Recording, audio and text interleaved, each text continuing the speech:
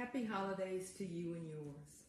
I'm taking a much needed pause to address comments that I made during a 2020 live interview with one of my castmates. First and most importantly, to black women and mothers, including your friends, families, and the medical community who cares for you. Because my words left you hurt and feeling unsupported, I want you to know I hear you, I see you, I believe you, and I apologize from the bottom of my heart.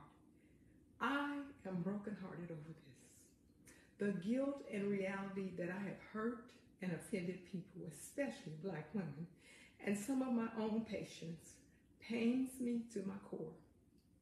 As I look back over the two hour video again and again, I admit that I used the wrong words and descriptions to properly convey my concerns regarding maternal mortality related to women of color. But the fact is, we must do more because we are still dying more. If I could say it all over again, here's how I'd say it.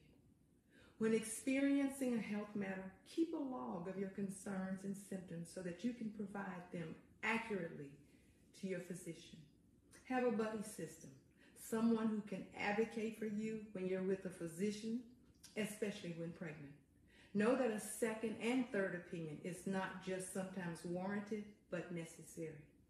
I thank you for taking out time from your holiday to tune into my apology and my self dedication to Black women and healthcare. I've been shaken and moved to be better.